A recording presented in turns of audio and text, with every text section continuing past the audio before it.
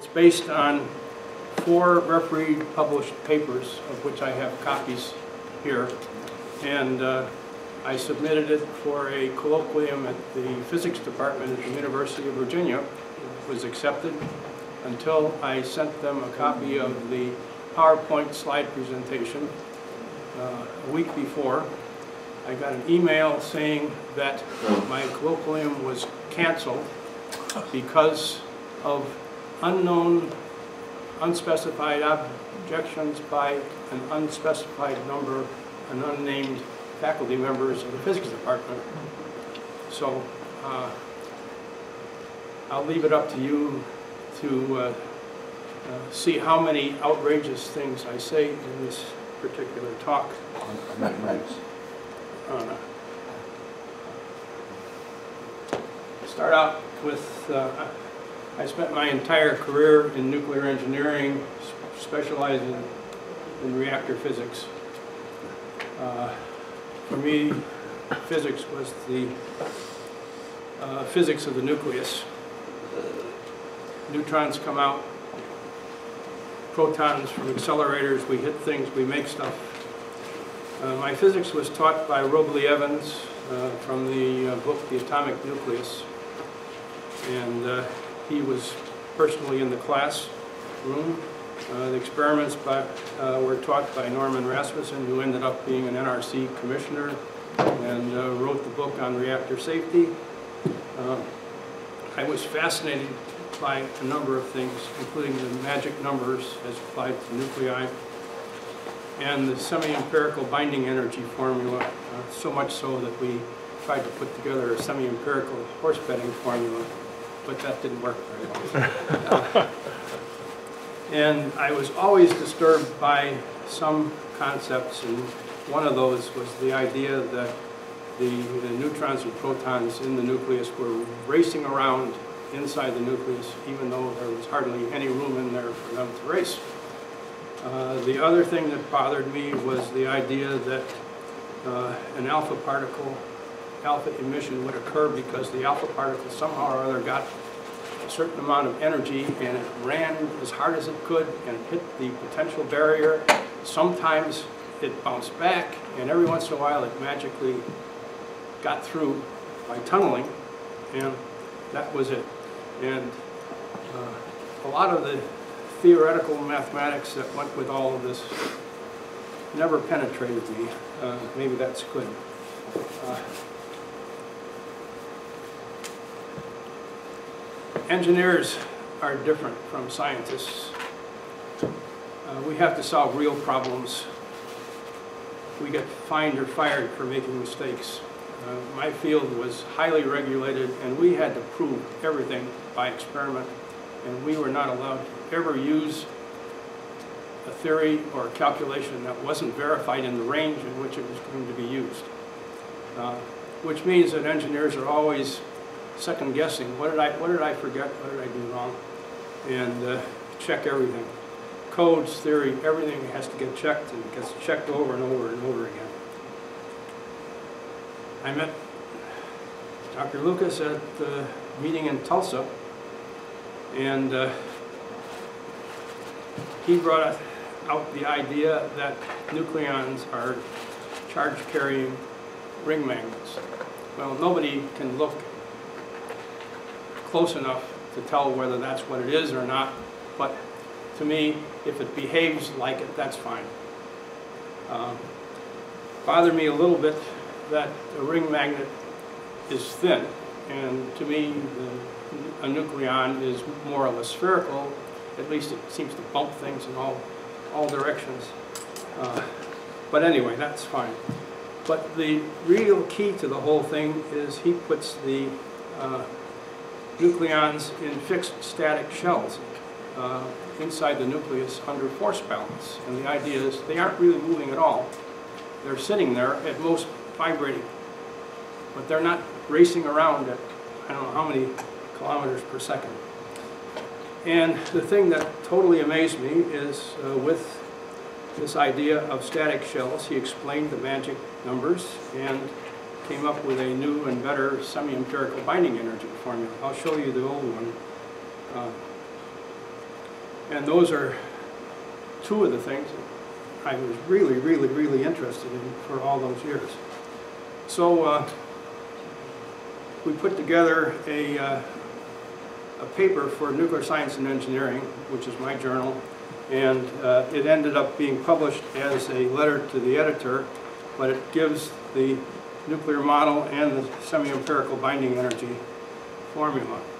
Uh, I sent a copy of that to uh, Professor Hans Weber in our physics department at the university, and he said, well, nobody will believe your ideas unless you apply them to something new and different. And why don't you apply them to the super heavy nuclei? Which is fine, except I didn't have the foggiest idea what a super heavy nucleus was. So uh, what do people do these days if you don't know something? You go to Google and you put in the words and you see what pops out. And what popped out was a summary paper by Professor Mohini Gupta in India, who not only gave the experimental data, but also the theoretical comparisons. And uh, so I got in contact with Professor Gupta and I started to do some work. And this is what happened. Well, uh, the initial work uh, turned into a paper, and Gupta suggested it be submitted to the Annals of Nuclear Energy, and uh, this is a copy of the paper, one of the papers. Uh, and it was published in August of 2011. Uh, published a second paper. I figured, well, if it works for these heavy nuclei, maybe it works for the ones further down too. And uh, of course, I used the Bible, which is the table of isotopes. When I was a professor, the whole thing was about half an inch thick. Uh, now it's two volumes, and this is only one of the two, and this is not the latest. So, uh, so uh, I published myself two papers in the Annals of Nuclear Energy on magic numbers, and then uh, uh, we put together as a joint paper with uh, Dr. Lucas and uh, Dr. Ed Boudreaux and Eric Baxter, we put together a paper for physics essays, and that was published last year. And uh, there's some new work in here. I have been in contact with some scientists at Dubna in the Soviet Union, or well, what do you call it, Russia now? And uh, uh, they are working on what they call non-traditional magic numbers, uh, like six. And uh, uh, there's new information on the magic number 58, so that's part of this talk as well.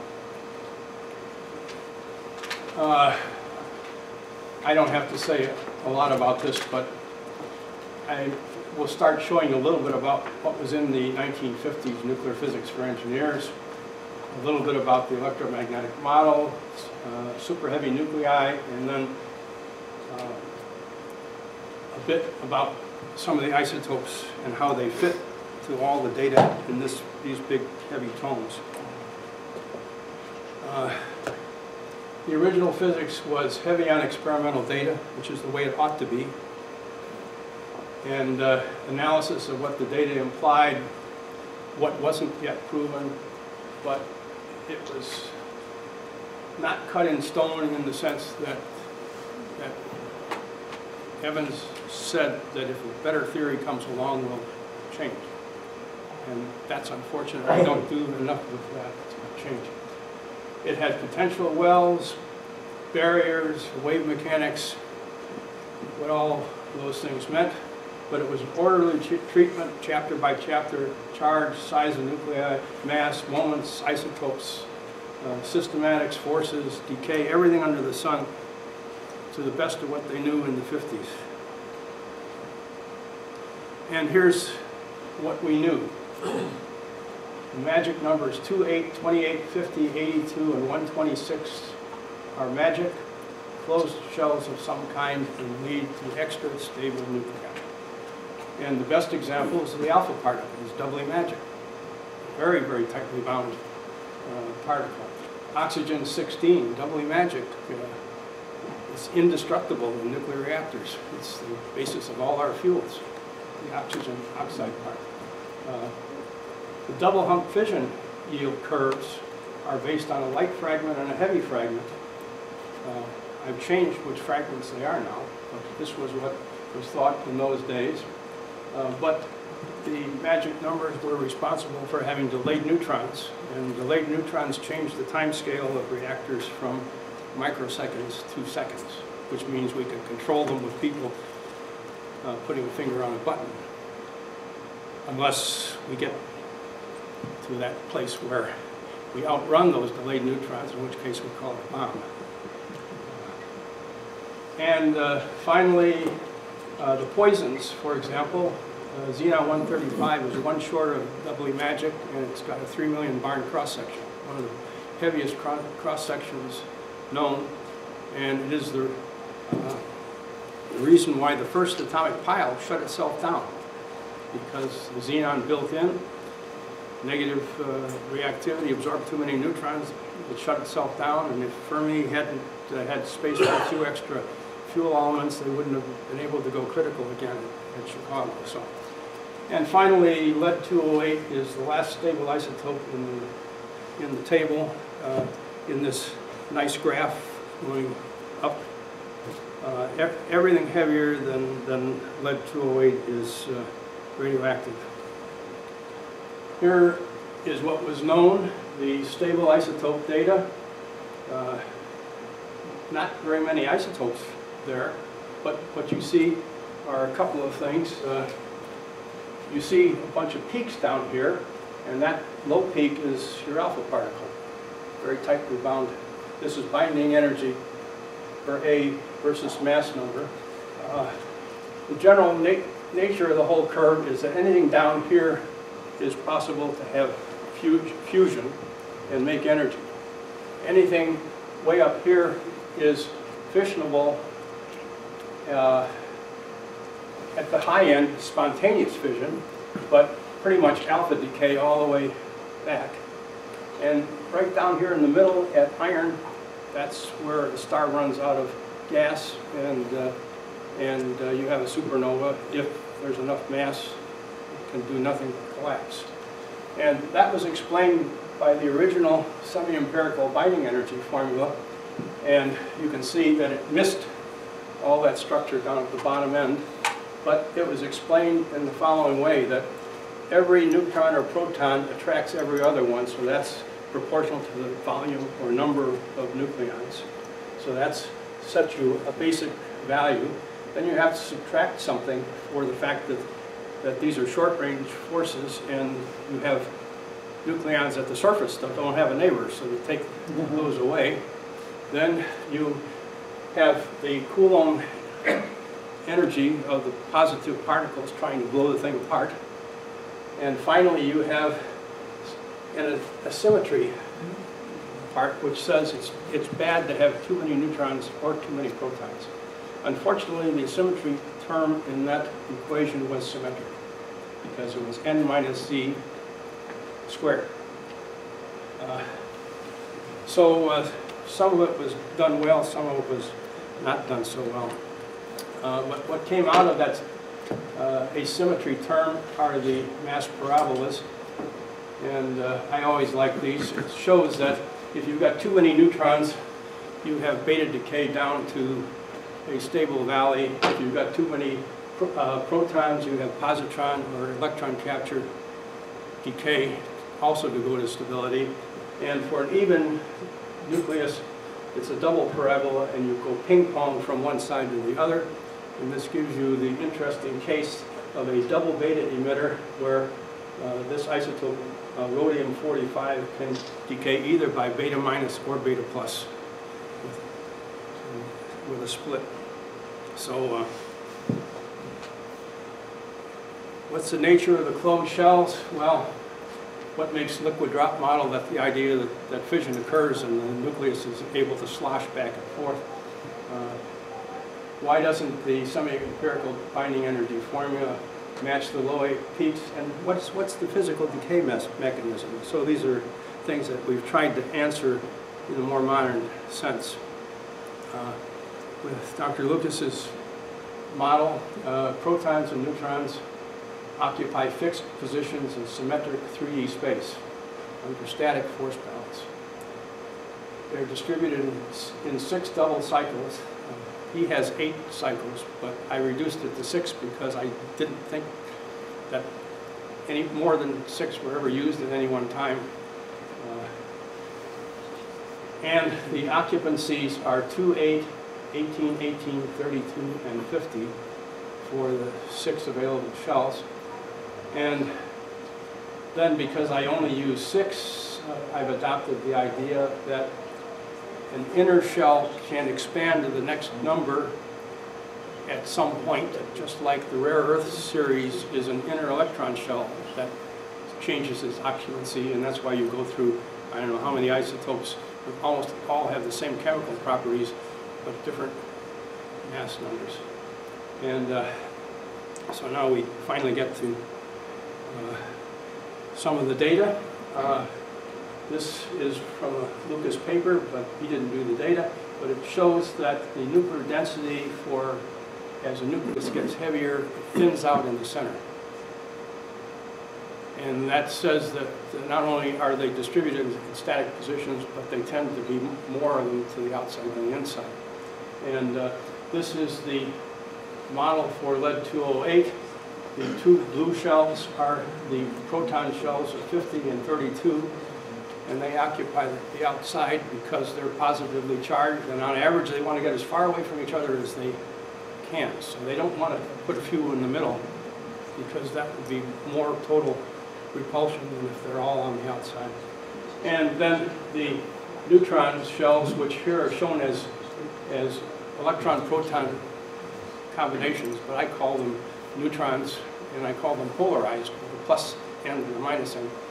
And uh, they occupy five shells going in of 50, 32, 18, 18, and 8, getting to 126, with the, inner, the center empty.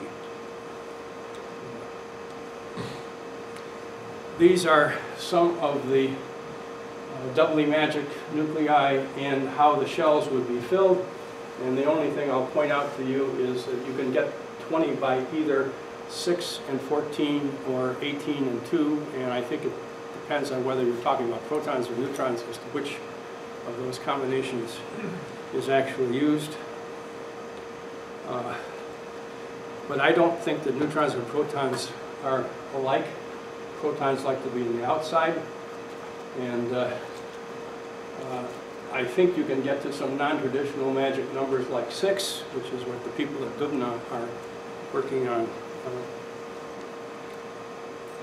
So the magic numbers are composites of shells, and uh, if you have a shell that's turned sideways, that might be the the slippery part that allows the two halves to slide and and decouple. Uh, But I believe that the neutrons polarize inside, and they polarize with their plus ends toward the center to get as far away from the protons as possible.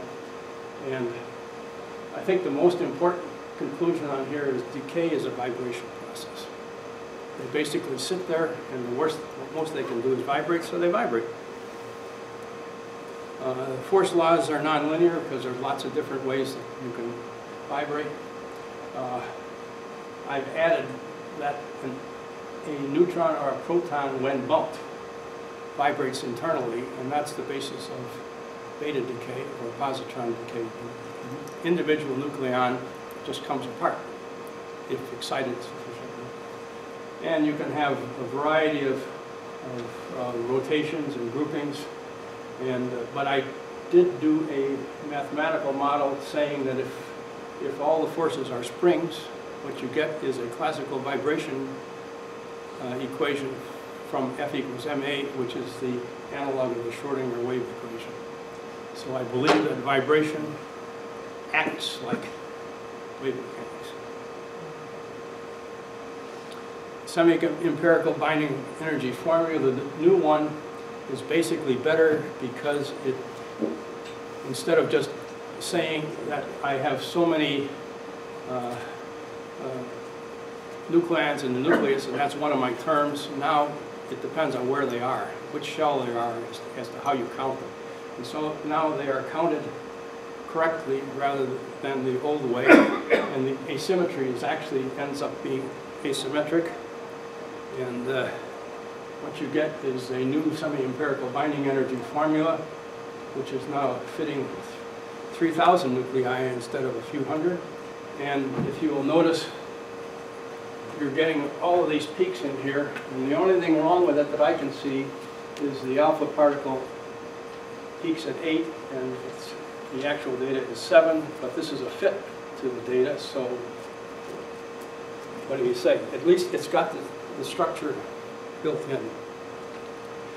Uh, This is the work that was done in conjunction with Boudreaux and Baxter. Baxter wrote a computer program uh, that will give you iteratively find a minimum energy position.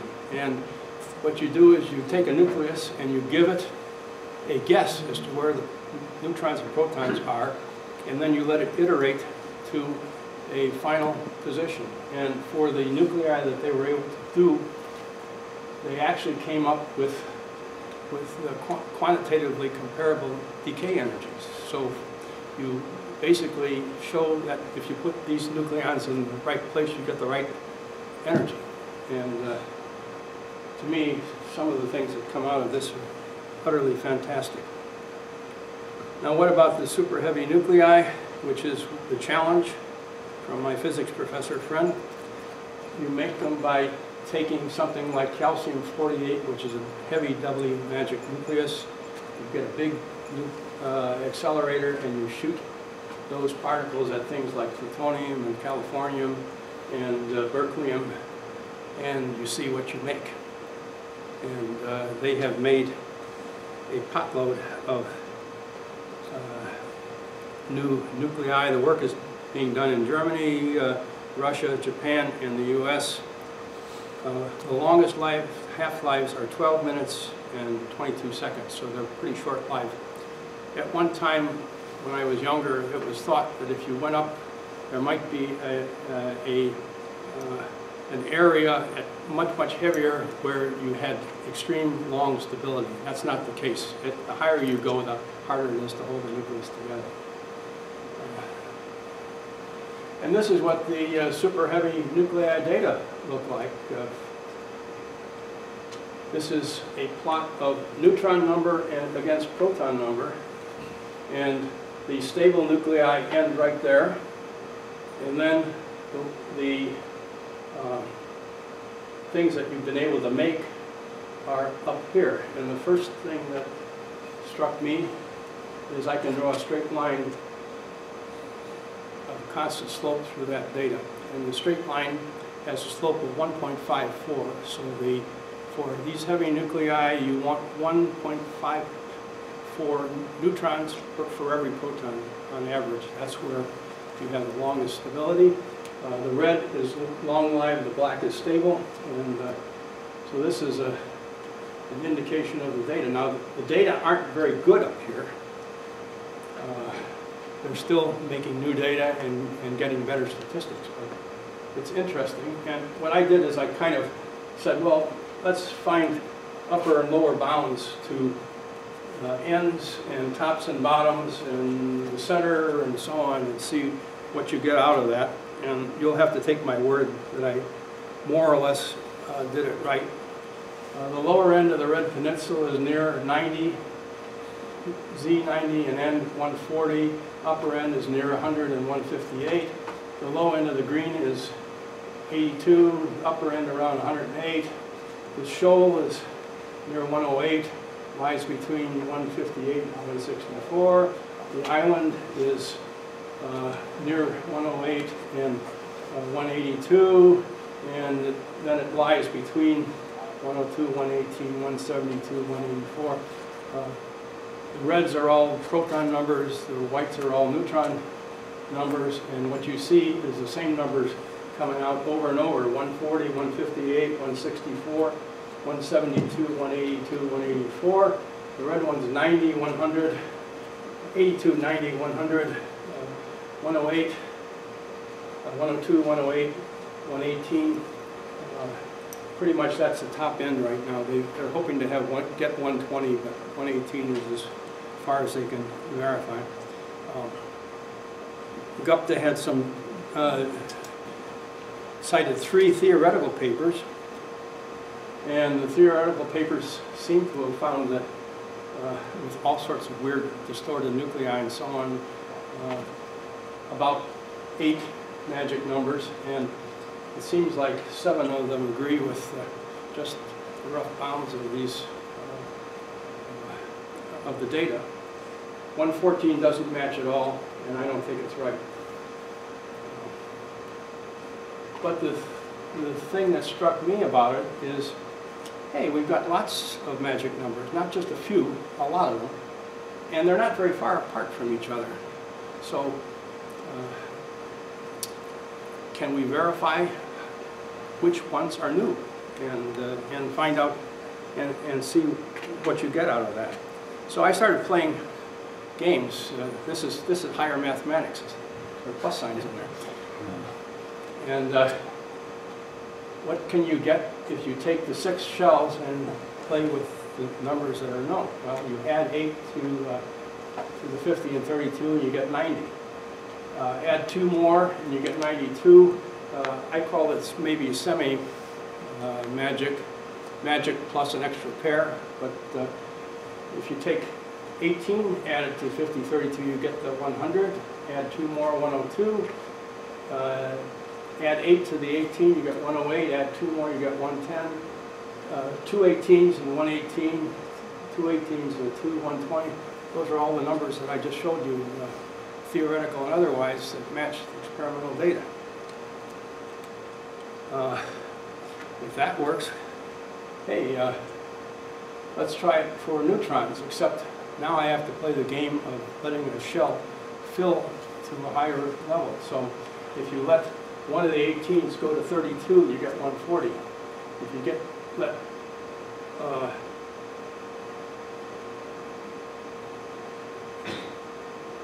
if you let uh, see how did I do this?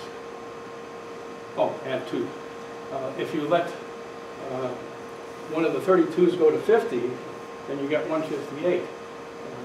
Let the other 18 go to 32, you get 164, and you see I end up pretty much agreeing with all the other uh, magic numbers that uh, were suggested from the data.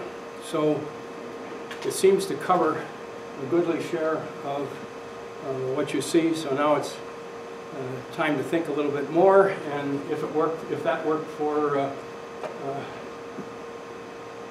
uh, neutrons, well, if it worked for protons, you can use it for neutrons as well. So you tack on some more uh, neutron numbers. And then I found a, a, very old paper by Linus Pauling in 1981 when he suggested some numbers down lower, like 58. And uh, you get 58 by adding 8 to the 3218. And if you, if you change that to 18, you get 68. And one more 76. So there's a couple of, uh, of additional ones to check in the upper end. Uh, this was, uh, Paul, Pauling had a, an idea of uh, a parameter that he called a spherical radius and uh, the various peaks for a series of isotopes are what he used to, to verify the 58 and the other numbers. So I went through this gigantic book and went through actually more than eight isotopes, but I'll get, just give you a little bit of the flavor of all of that. Uh, there are 19 isotopes of thorium. I never thought there were that many. Uh, and Gupta in his paper said that the next doubly magic number, uh, nucleus, would be the holy grail of contemporary physics. Well, the holy grail is thorium. Specifically thorium-230 and 232, uh, which are very long uh, live isotopes. And it just so happens that uh, not only are they doubly magic, but they're sitting on the optimum N over Z uh, ratio of 1.54. Uranium has got 20 isotopes, and uh, Two of them are doubly magic, and that tends to explain fairly long lives going down towards lighter isotopes. But the ones that we use, 236 and 238, are also pretty long-lived, and they are more or less uh, stabilized by being very close to that uh, N over Z ratio, right down in the middle. There is something I should mention, the Seaborg criterion for spontaneous fission. And uh, uh, I'll show you what, what that does. Fermium 100 would be one of my new uh, magic numbers. And the longest life isotope of that is one short of doubly magic, fermium 257. 258 is doubly magic, but it's, uh, it decays by spontaneous fission. All the other half-lives, lighter or heavier, are short. And the reason that the odd one is the longest life is the Seaborg criterion, which basically says that that nucleus is slightly asymmetric, and therefore it cannot vibrate in all degrees of freedom. So that restriction is what makes it uh, live longer than the others. Uh, if you didn't, don't believe that one, try Nobelium, and you get exactly the same behavior. The longest life existing isotope is one short of doubly magic. Uh, went down to cerium, there's 20 isotopes. The doubly magic one is almost 90% of the natural isotope. Uh, but having doubly magic tends to give you heavy end isotopes with reasonable lives and light end isotopes with reasonable half, uh, half-lives. Um, I ran across this data as a result of talking to the Russians, and uh, it shows that cerium at, has a kink at 158, so that's additional information that says 58 is, is magic. Uh, well, I won't go through all the details. Dysprosium uh, has some of the what similar behavior. You tend to have longer lives and the bounds of existing isotopes with reasonable lives are uh, influenced by the magic. Uh, osmium, lead, the only difference for lead is I would add lead 210 as being uh, stabilized by uh, having that extra pairing. Uh, now, new information, double hump fission curves. If you put 58 in the light fragment instead of 50, what you get is almost perfect agreement with the experimental data, at least for, for uranium. Slightly off on some boundaries, but pretty much uh, uh, says that 58 is a magic number. That explains your double hook fission curves.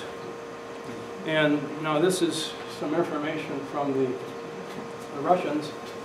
Uh, they have something called a, uh, a kink uh, radius. And here for at least five isotopes, you confirm 82.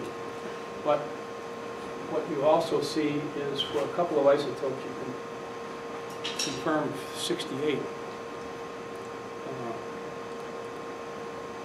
Here's another set of their curves, and here, here again for about five isotopes, you're confirming 58, and surprisingly enough, you're confirming 50 as well with his model. Uh, I'm almost finished. Maybe this. Oh, I'm, I'm not. I'm not doing that bad these are some of my newer ideas. Uh, I believe that the intrinsic mass of a nucleon, like a neutron proton, is about 99% of, of the uh, of the mass, and then there is the rest of it is tied up in the EM fields between nucleons, inside the nucleons, and I believe that beta decay is due to internal uh, uh, vibration of a nucleon, of a nucleon. Uh, These are essentially new ideas. They're not in any of the theoretical models. I believe you have to have an explanation for why do you get beta decay as well as why do you get alpha decay and fission. Uh, So I consider that vibration is the basis of all decay. And the, uh, the data appear to be quantized because of the fixed amount of energy between the configurations that are allowed in the models. And you get an almost continuous mass distribution out of it. Uh, No barrier penetration for alpha decay. The al- alpha particle just blows away. Uh, We don't need wave mechanics. Uh, Always bothered me uh, in the physics book, the Deuteron wave uh, function, instead of looking like other wave functions, is weird. And I've tried, I don't know how many times to understand it, and, and uh, I don't believe the information for deuterium of Deuteron. Uh, But the Schrodinger equation is a perturbation uh, analog to vibration, and so I think vibration is really what's happening. Uh,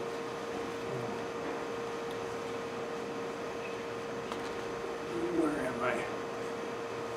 Magic affects number of stable isotopes and sizes, extent of isotopes, and- and the half-lives.